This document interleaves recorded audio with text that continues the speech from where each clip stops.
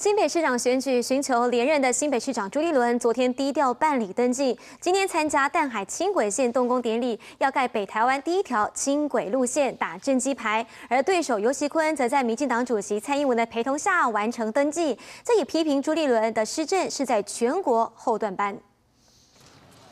新北市长朱立伦三环三线政见当中的第一线淡海轻轨线上午动工，朱立伦亲自参加动土典礼。第一期工程包括绿山线从红树林站到淡海新市镇站，以及部分蓝海线路段，预计将在一百零七年底完工。这不但是北台湾首条轻轨路线，也将是朱立伦争取连任的重要政绩。朱立伦表示，未来会继续推动三环三线的交通建设。那很快的，我们针对于包括细致民生，还有我们的安坑线这个三线。都会有动工，那还当然我们的三一线也是要开始做先期工程的动工，那就是要把我们的三环三线全面的启动。朱立伦已经在二号下午四点多低调完成新北市长参选登记，而他的竞选对手民进党提名的新北市长参选人尤锡坤，上午也在民进党主席蔡英文陪同下到新北市选委会办理参选登记。不过日前传出朱立伦阵营打算以二零一二年总统大选马英九和蔡英文票数差距的二十三万票为目标，希望年底也能赢尤锡坤超过二十三万票。尤锡坤和蔡英文回批，朱人过去四年政绩不佳，选民自有判断。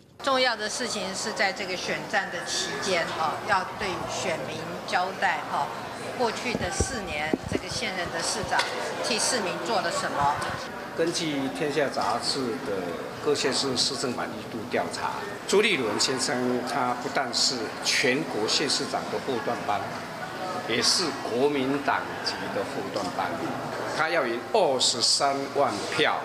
我觉得他连一票都不会赢。游戏坤拿杂志频道批评朱立伦施政不佳，朱立伦为淡水轻轨动工破土，要证明自己认真做事。最后谁能出现，还是要看新北市民如何决定。记者张雄、谢启文、彭耀祖 SNG 小组新北报道。